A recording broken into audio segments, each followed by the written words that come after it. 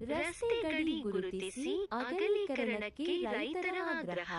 ವಿಜಯನಗರ ಜಿಲ್ಲೆ ಹರಪನಹಳ್ಳಿ ಪಟ್ಟಣದಿಂದ ಸರ್ಕಾರಿ ಆಸ್ಪತ್ರೆ ಪಕ್ಕದ ರಸ್ತೆ ಮೂಲಕ ಹೊಂಬಳಗಟ್ಟೆ ಗ್ರಾಮಕ್ಕೆ ಸಂಪರ್ಕ ಕಲ್ಪಿಸುವ ರಸ್ತೆ ಗಡಿ ಗುರುತು ಮಾಡಬೇಕು. ಕಿರಿದಾದ ರಸ್ತೆ ಅಗಲೀಕರಣ ಮಾಡಬೇಕು ಎಂದು ಆಗ್ರಹಿಸಿ